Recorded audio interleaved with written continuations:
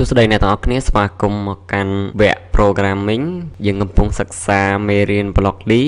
ថ្ងៃនេះយើងចូលដល់មេរៀនទី6និយាយអំពីការរំលឹកមេរៀននិងអនុវត្តលំហាត់បន្ថែម នៅក្នុង Module 1យើងប្រើប្រាស់ string ដើម្បីផ្ទុកទិន្នន័យជាអក្សរយើងចុចកន្លែង string នេះមកហើយរើសយក Blockly មួយនេះ បន្ទាប់មកបើអ្នកទាំងអស់គ្នាចង់បង្ហាញទិន្នន័យអ្វីមួយដែលអ្នកទាំងអស់គ្នាចង់បង្ហាញអ្នកទាំងអស់គ្នាត្រូវយក output យើងយកនេះមកហើយយក print បន្ទាប់មកយើងយកទិន្នន័យដែលយើងចង់បង្ហាញដាក់ចូលក្នុងប្លាស់នេះបាទហើយអ្នកទាំងអស់គ្នាសាកដំណើរការមកដោយចុច run អញ្ចឹងពេលនេះអ្នកទាំងអស់គ្នាចង់បង្ហាញ hello ដល់មកទៀតក្នុងការបង្ហាញបើសិនជាយើងចង់បង្ហាញអ្វីមួយដែលមានដក clear អ្នកទាំងអស់គ្នាអាចប្រើ output ដែលមានពីរប្រអប់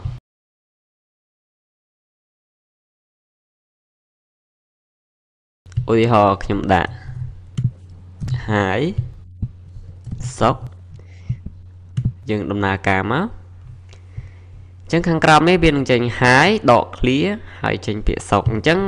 print ដែលមានពីរប្រអប់មានន័យថាវាដក clear ដោយស្វ័យប្រវត្តិ តមកទៀតបើសិនជាអ្នកទាំងអស់គ្នាចង់បង្ហាញទិន្នន័យពីរដែលជាប់គ្នាអ្នកទាំងអស់គ្នាអាចយក print តែមួយប្រអប់បានហើយបន្ទាប់មកយើងយកការភ្ជាប់ string គេហៅ concatenate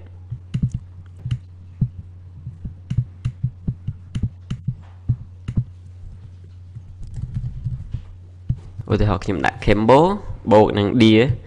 យើងដំណើរការមកអញ្ចឹងវានឹងចេញ Cambodia យើងមើល Cambodia អត់មានដក clear ទេ វាជាប់គ្នាដោយសារយើងប្រើដុំភ្ជាប់ string តមកទៀតខ្ញុំសូមបញ្យល់តកតងនឹងការប្រើប្រាស់អញ្ញត្តិអញ្ចឹងដើម្បីបង្កើតអញ្ញត្តិមួយអ្នកទាំងគ្នាត្រូវចុចយក variable ហើយយក create variable បន្ទាប់មកយើងត្រូវការអញ្ញត្តិយើងឈ្មោះអីយើងដាក់តាមនឹងមកអញ្ចឹងអញ្ញត្តិនេះអ្នកទាំងអស់គ្នាអាចដាក់ឈ្មោះបែបណាក៏បានដែរខ្លីហើយងាយយល់ អញ្ចឹងពេលនេះខ្ញុំបង្កើតអញ្ញត្តិមួយឈ្មោះថាសង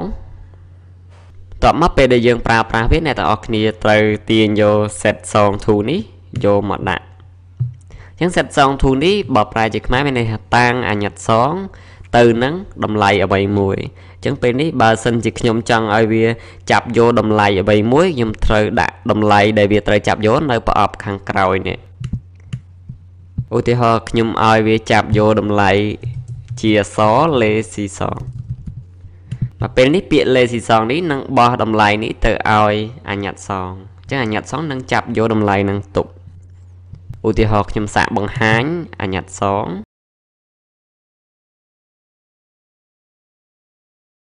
ចឹងពេលនេះខ្ញុំបង្ហាញអាញាត់សងនេះអាញាត់សង បានចាប់យកតម្លៃ lazy song ឥឡូវឧទាហរណ៍ថាកន្លែងនេះខ្ញុំដូរទៅជា hello ចឹងពេលដែលខ្ញុំដំណើរការ វានឹងចេញ hello ដោយសារពេលនេះសងបានចាប់យកតម្លៃ hello ទុកតមកទៀតបើសិនជាយើងចង់ឲ្យអាញាត់នោះចាប់យកតម្លៃដែលអ្នកប្រើប្រាស់បានបញ្ចូល យើងប្រើប្រាស់ដុំមួយទៀតគឺដុំ input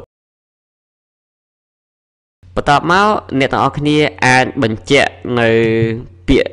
កន្លែងខាងក្រោយនេះដើម្បីឲ្យដឹងឲ្យអ្នកដែលប្រើប្រាស់ហ្នឹងដឹងថាតើគួរបញ្ចូលតំណែងអី ឥឡូវឧទាហរណ៍ថាខ្ញុំចង់ឲ្យគេបញ្ចូលឈ្មោះ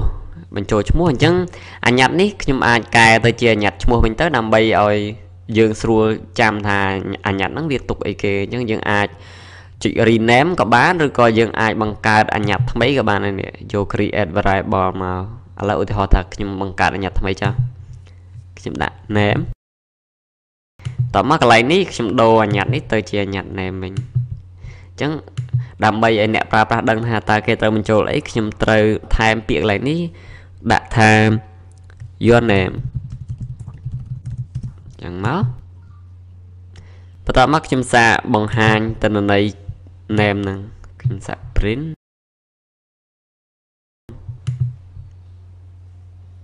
ជាងជួរទី1វានឹងចេញពាក្យ your name បង្ហាញយើងហើយបន្តមកវាទុក plus វាទុកអឺ វាទុកផ្នែកខាងក្រោយវាមាន cursor load ដើម្បីជាកន្លែងឲ្យយើង បញ្ចូលតំណែងឥឡូវឧទាហរណ៍ថាខ្ញុំដាក់សុកសុវណ្ណតមកខ្ញុំ enter អចឹងវានឹងចេញសុខសវណ្ណអញ្ចឹងការងារត្រង់នេះមានន័យថាអញ្ញត្តិ name នេះនឹងចាប់យកតម្លៃអ្វីក៏ដោយដែលអ្នកប្រើប្រាស់បានបញ្ចូលបន្ទាប់មកចុងក្រោយគឺបង្ហាញតម្លៃអញ្ញត្តិហ្នឹង